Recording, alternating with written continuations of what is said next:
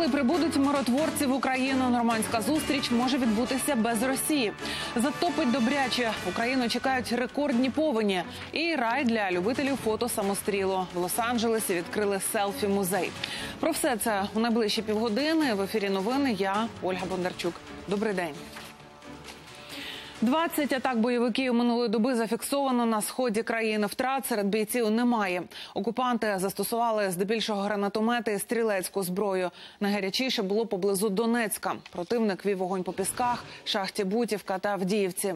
Російські найманці обстрілювали позиції військових і на півдні регіону у водяному, широкиному і Талаківці. На Луганському напрямку напередодні було тихо, але сьогодні вночі бойовики порушили перемир'я неподалік Попасної. Розміщення миротворців ООН на Донбасі стане темою найближчої зустрічі у нормандському форматі. Щоправда, вона може відбутися без участі Росії. Про це пише видання Комерсант, посилаючись на джерела в адміністрації президента України. За даними газети, лідери Німеччини, Франції та України можуть зустрітись у травні в місті Ахен на заході Німеччини. А вже 10 квітня в Берліні про розміщення в Україні блакитних касок Петро Порошенко говоритиме з Ангелою Меркель. Сьогодні у Вашингтоні з американським президентом зустрінуться глави трьох держав Балтії. До цієї зустрічі готувалися заздалегідь. І минулого місяця міністри закордонних справ Литви, Латвії та Естонії вже були у Білому домі. Головна тема зустрічі протидія військовій агресії з боку Росії. Очікують, що лідери країн Балтії проситимуть Дональда Трампа посилити захист від Росії. Йдеться про протиракетні комплекси Петріот і про військові навчання. Верховна Рада сьогодні розглядає скасування електронного декларування для громадських активістів, які займаються антикорупційними розслідуваннями. На цьому напередодні наполягав спікер Андрій Парубій. Втім, профільний комітет так і не зміг зранку зібратися з цього приводу. Не було кворуму. Тож питання і досі не включили до порядку денного. Його саме обговорюють. Скільки можна не орієнтуватися? Ви не зорієнтувались, коли голосували за поправку, якою вводили електронне декларування. Ви не зорієнтувались, коли президенту радили підписувати закон замість того, щоб накласти вето. Ви не зорієнтувались, коли брехали послам, міжнародним фондам.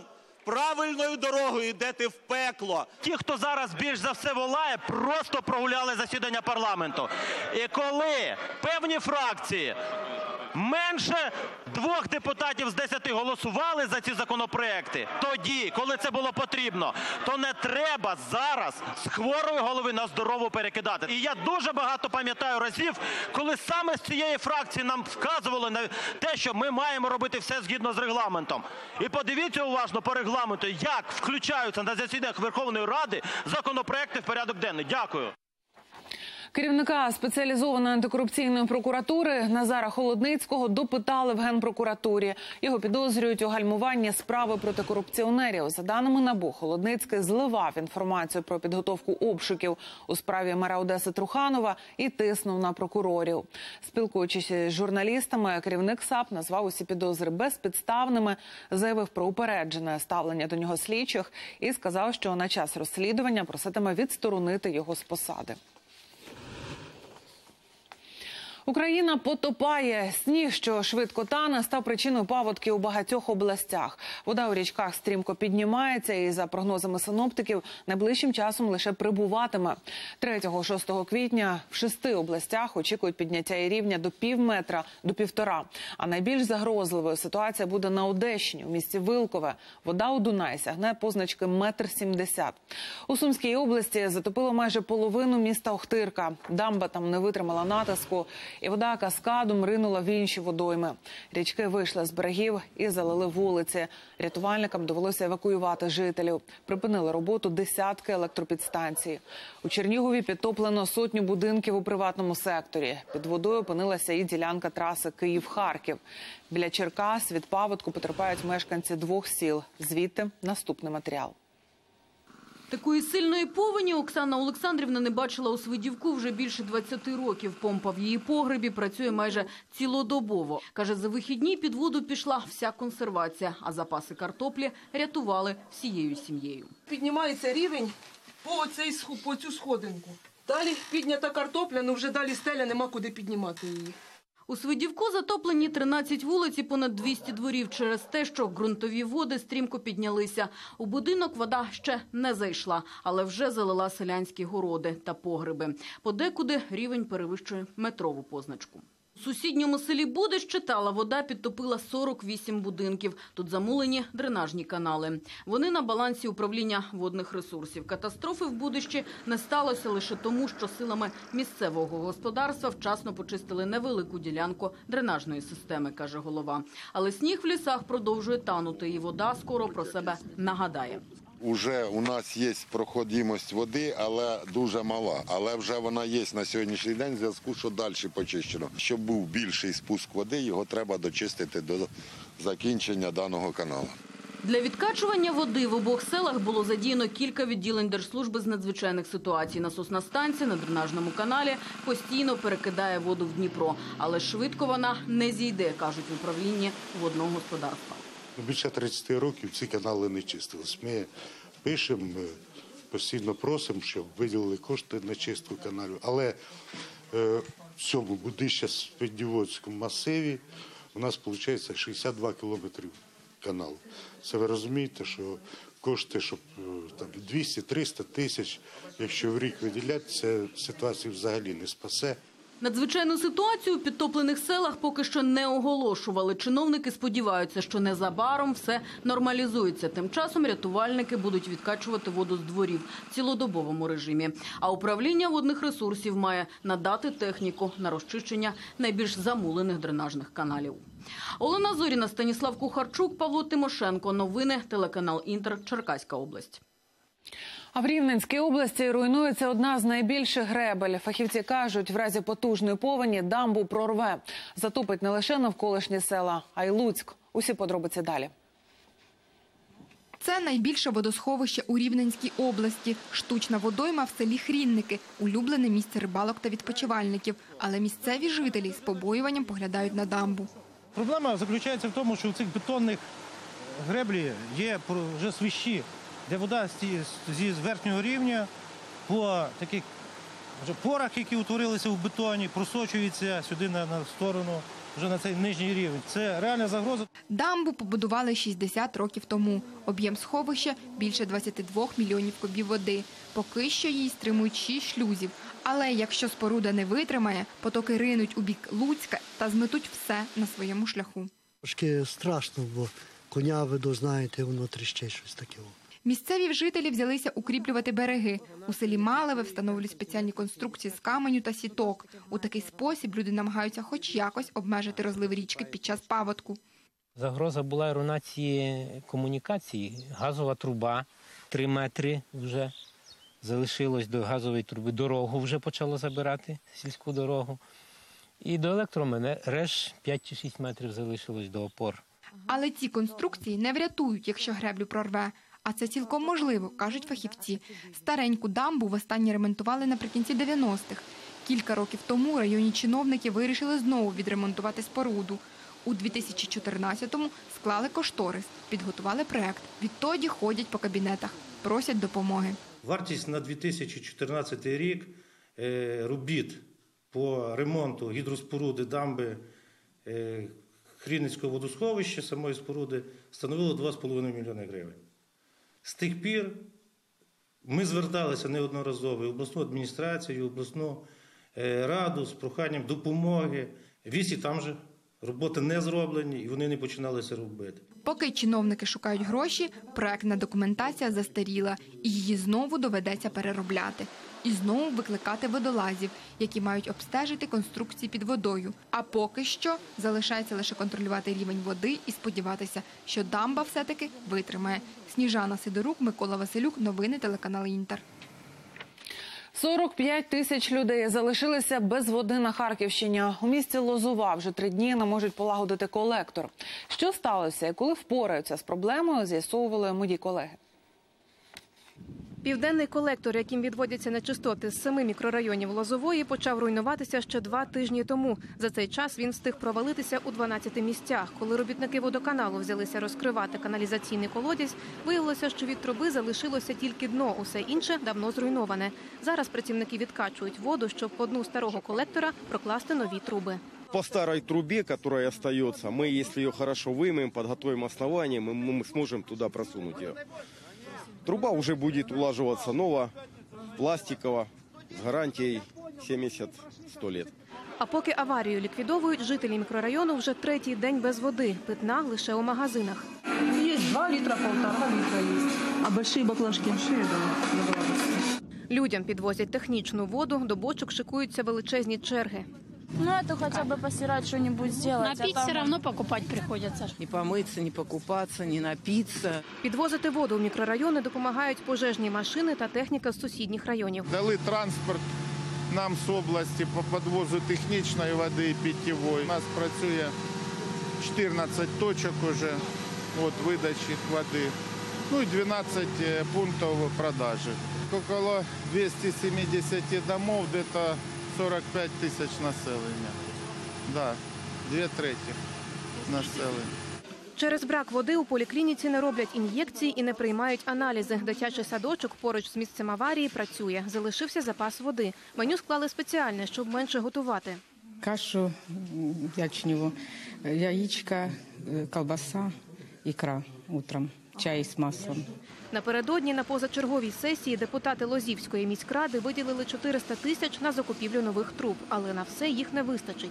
Навірно, потрібно було ще Два и три года назад поменять этот, эти, этот весь коллектор. Но ориентировочная стоимость, наверное, где-то около 15 миллионов. У нас есть резервный фонд, будем обращаться к депутатам, будем решать этот вопрос. Ліквідовувати аварію будуть у цілодобовому режимі, але навіть приблизну дату, коли у квартирах з'явиться вода, ніхто назвати не береться. Катерина Стрілкова, Світлана Шекера, Олександр Яновський. Новини телеканал Інтер. Харківська область. На Тернопільщині перекинувся і загорівся молоковоз. Аварія сталася на об'їзній дорозі біля міста Кременець. Як усе було, зафіксували камери відеоспостереження. Молоковоз намагався оминути яму, в той час як інший автомобіль пішов на обгін. Щоб уникнути зіткнення, водій спробував маневрувати, але цистерна перекинулася і загорілася. Чоловік встиг вискочити з охопленого полум'ям салону, але дістав опіки обличчя та рук. За попередньою версією, автомобіль рухався по своїй смузі і е, минав пошкодження на е, асфальтному покритті. Коли побачив, що його обганяє Мерседес Спринтер, зробив е, об'їзд, його розхитало і перекинуло автомобіль. Під час проведення розслідування обов'язково буде з'ясовано, яким було дорожнє покриття, які були вибоїни на дорожньому покритті, чи стали ці вибоїни причиною дорожньо-транспортної пригоди. У Кропивницькому перевіряють усі торговельні розважальні центри, супермаркети і навчальні заклади на протипожежну безпеку. Одним із перших відпрацювали чотириповерховий комплекс у середмісті, де розташований гральний центр для дітей. Рятувальники провели тренувальну евакуацію під час уявної пожежі. Як усе було, дивіться самі. Торговельно-розважальний заклад у центрі Кропивницького. Тут на чотирьох поверхах магазини, кафе та ігровий центр для дітей. У будень відпочивальників не більше сотні. За легендою, пожежа спалахнула у гральній кімнаті. Спрацьовує сигналізація та вмикаються гучномовці з проханням залишити територію. Администрация сообщает, что в помещении возник пожар. Просим вас сохранять спокойствие, спуститься по лестничной Далі винести людей через службовий вихід. Користуватись ліфтом під час пожежі суворо заборонено. На кожному поверсі за евакуацію людей відповідає окремий охоронець. Саме він і має ключі від аварійних виходів. У разі його відсутності двері можна розблокувати зсередини натисканням замка. Если в случае аварийной ситуации человек подбегает и замочком сам открывает. То есть охране не надо спускаться, терять секунды время и в панике попадать в замочную скважину. То есть предусмотрена именно защелка. Уже за кілька хвилин під будівлю прибувають пожежні машини. Уявна пожежа ліквідована. Такі відпрацювання, акцентують рятувальники, проводять не заради штрафів, а щоб навчити персонал закладів правильно діяти та виявити слабкі місця у протипожежних заходах. проходження сигналу і обізнаність персоналу ми ще будемо зараз додатково вивчати. Настільки охорона е, спроможна це робити, як вона робить. Питання ми будемо задавати і хочемо почути відповіді. Є деякі питання. А вже за кілька хвилин за квартал від цього центру рятувальники отримують виклик на вже реальну пожежу. Поруч з художнім музеєм горить квартира. Господарі до прибуття пожежної, мабуть, намагалися гасити самі пожежу, отримали легкі опіки, е, як е, шкіри, е, руки, так і верхніх дихальних шляхів. Одного із е, господарів квартири госпіталізовано. Наразі причини пожежі в цій квартирі встановлюють, а рятувальники нагадують, нехтувати протипожежними заходами небезпечно. Юлія Жешко, Олена Бринза та Володимир Кувакін. Новини телеканал Інтер. Кропивницький. Найвірогідніша причина пожежі у Кемерові коротке замикання, вважають у російському слідчому комітеті. За офіційною версією, полум'я спалахнуло у батутному комплексі і стрімко поширилося на всю будівлю. Очевидці розповіли, що жмут електродротів звисав просто над басейном з дитячими поролоновими кубиками. Після цієї пожежі, яка забрала 64 життя, розпочали перевірку пожежної безпеки і в інших містах країни. Вибуху у ресторані швидкого харчування в центрі Єревана постраждало дев'ятеро людей. За даними служби з надзвичайних ситуацій Вірменії, рвонув балони з газом на кухні. Серед постраждалих є іноземці, громадяни Ірану та Росії. Усіх доправили до лікарні. Десятки людей загинули під час протестів в Індії. За різними даними, там від 10 до 20 жертв. На вулиці вийшли так звані мешканці Нетріо після скасування закону про відповідальність за кастову дискримінацію. Протестувальники перекривали вулиці, дороги і залізничні колії. Усе проходило мирно, допоки поліція не розігнала мітингувальників силоміць. Загальнонаціональний страйк паралізував Францію. На роботу не вийшли залізничники. Натомість пройшлися з протестами вулицями Парижа. Як наслідок, п'ята частина усіх поїздів стоїть. Перебої з залізничним сполученням триватимуть два дні. Профспілки вимагають скасувати реформи, зокрема нові правила виходу на пенсію. До залізничників обіцяють також приєднатися працівники авіакомпанії. Близько третини рейсів тоді скасують. Саудівський кронпринц Мохаммед бін Салман визнав право Ізраїлю на власну країну, але для цього потрібно укласти мирну угоду. Таку історичну заяву він зробив в інтерв'ю американському виданню Атлантик. Його позицію міжнародні оглядачі відразу підхопили і розцінили як зближення двох країн. Нагадаю, Саудівська Аравія офіційно не визнає Ізраїль і вимагає відкликати усі претензії на палестинську територію, захоплену під час арабо-ізраїльської війни 67-го року. Проте останнім часом у відносинах між країнами спостерігається певне потепління. В березні цього року вперше в історії Саудівська Аравія відкрила свій повітряний простір для пасажирського літака, що виконував рейс до Тель-Авіва. Прозорі рюкзаки заради безпеки в американській Флориді відтепер студенти носитимуть усі свої речі і підручники у спеціальних сумках. На вигляд вони більше схожі на рюкзаки з кількома кишенями, а головне повністю просвічуються, тому добре видно, що всередині. Так поліція хоче запобігти збройним нападам у навчальних закладах. Зробити це вирішили після того, як у лютому один зі студентів розстріляв 17 осіб. Зброю він проніс у своїй сумці. В Україні набуває популярності експериментальний проект Шкільний офіцер. Молоді поліцейські працюють пліч-опліч з освітянами. Чим вони займаються, як допомагають школярам, розкаже Ольга Клюєва. Дитяча гаряча лінія, слухаю вас. Сотні дзвінків на добу, десятки дитячих трагедій щодня чують оператори гарячої лінії. Левова частка проблем конфлікти з однолітками. На знущання у школі скаржиться кожна третя дитина, яка телефонує на гарячу лінію. Певні образи, е, ігнори, е, знущання над дитиною, бойкоти, коли, наприклад, є псування якихось особистих речей, там зошитів, щоденників. Інколи дійсно дитяча жорстокість вона дуже сильно вражає. Е, Дитину б'ють, і це автоматично знімають на відео або фотографують, і потім просто розповсюджують в соціальних мережах. Донедавна правоохоронні органи підключали до шкільних конфліктів лише в екстрених випадках. Згодом стало зрозуміло, що запобігти психологічному насильству в школах легше ніж боротися з його наслідками. Тоді і з'явилась ідея проекту Шкільний офіцер. Вчителі констатують, діти довіряють молодим поліцейським часом більше ніж комусь іншому. Вони вимагають такої відвертої розмови. Не все вони можуть почути від батьків, і не все можна довірити мамі або татові. Е, Є такі питання, які може відповісти стороння людина, яка е, дійсно обізнана і в законах, і може дати справжню пораду. Ось на таких уроках шкільні офіцери розповідають старшокласникам про правову відповідальність, про те, як уникнути конфліктів або захиститись від агресії. Як себе вберегти? Хто мені розкаже? Можливо, у вас вже такі ситуації були, і ви якось виходили з цих ситуацій. Ну вони дуже привітні та дружелюбні. Вони завжди посміхаються та розповідають е, завжди доступні для нас формі. А на такому стенді в українських навчальних закладах тепер розміщена інформація про шкільного офіцера, його телефон та адреса електронної пошти.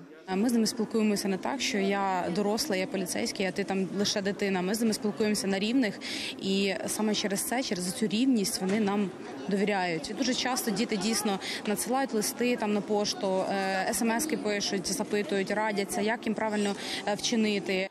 Наразі проект Шкільний офіцер діє лише у половині областей. Втім, освітянам пообіцяли, що підтримка поліцейськими шкільних закладів незабаром буде розповсюджена по всій Україні. Ольга Клюєва, Сергій Єрьомінка, Даніель Косаковський. Новини телеканал Інтер. В Іспанії вантажівка розгубила дорогою слонів. Довелося навіть перекрити автомагістраль. Тварини з цирку перевозили поблизу міста Альбасета в регіоні Мурсія. Машина потрапила в ДТП, і п'ять слонів випали на дорогу. Один із них загинув. Решта кинулися в розтіч. Із проїжджої частини їх евакуювали за допомогою крана. SpaceX запустила ракету Falcon 9 із вантажним космічним кораблем Dragon. Це вже 14-й політ автоматичного корабля компанії Ілона Маска. Цього разу місія має доправити на міжнародну космічну станцію понад 2,5 тонни вантажу. Це харчі, предмети першої необхідності і обладнання для станції. Очікують, що зістикується вантажний корабель з МКС вже завтра. Космічний телескоп Хаббл зняв найвіддаленішу зірку всесвіту. Назвали її Ікаром. Вона розташована за 9 мільярдів світлових років від землі. І за словами фахівців, раніше була невидимкою для усіх телескопів. Бачити зірку вдалося лише завдяки тому, що вона змістилась у галактиці. А перед нею скупчилася темна матерія великої маси, яка відіграла роль лінзи і посилила світло зірки у дві тисячі разів. Заради фото у визначних місцях не обов'язково їхати світ за очі, принаймні американцям. У Лос-Анджелесі запрацював музей селфі. Там облаштували кілька студій, де на тлі копії різних пам'яток і відомих картин можна зафіксувати себе красивого. У музеї селфі у Лос-Анджелесі з телефонами не лише мисливці за яскравим кадром, а навіть картини. Відомий автопортрет Ван Гога з перев'язаним вухом і той зі смартфоном у руці. Золота Адель Густава Клімта теж із золотим телефоном. Усе в цьому місці говорить про селфі. На вигляд звичайна фотостудія, але з приписом музей. Відвідувачі у захваті. Я не надто страждаю на селфі-залежність і не так часто фотографуюся, але при нагоді у гарному вбранні не оминаю можливості зробити селфі. Селфі розкриває мою найкращу сторону. Таким чином я ніби демонструю людям, що я роблю у цей момент і де саме перебуваю. І що це круто, і ви теж можете спробувати. Відкритий музей селфі придумали двоє місцевих митців Томі Хонтон та Таїр Момєдов. Вони вирішили допомогти любителям селфі робити це якісно і водночас цікаво. Для цього під одним дахом зібрали копії відомих картин, а ще пропонують професійну графіку популярних туристичних місць. Усе виглядає по-справжньому, ніби ви у звичайному музеї. Тільки тут можна торкатися експонатів заради гарного селфі, а ще можна не перейматися і досхочу корчити смішні гримаси. Селфі це окремий вид мистецтва, запевняють куратори. Навіть відомі художники грішили цим, і їхні автопортрети є тому підтвердженням. Насправді у селфі дуже багата історія. Можна сказати, що мистецтво йшло нога у ногу селфі. Рембрандт, приміром, намалював близько сотні так званих селфі-портретів. Альбрехт Дюрер десь приблизно п'ять, Ван Гог – десятки. Я навіть певен, що вони робили і свої селфі-портрети. Так, майстерна техніка і просто фото різні речі. Але я певен, що якби у ті часи були камери і смартфони, вони обов'язково б робили фото-селфі. Музей селфі тимчасовий працюватиме у Лос-Анджелесі протягом двох місяців. А далі він гастролюватиме іншими містами Сполучених Штатів Америки. Ганна Ільїних, новини, телеканал Інтер. Команда інформаційної служби новин працює для вас практично безперервно. Тож наступний випуск новин вже о 17.40. Вдалого дня і до зустрічі ввечері.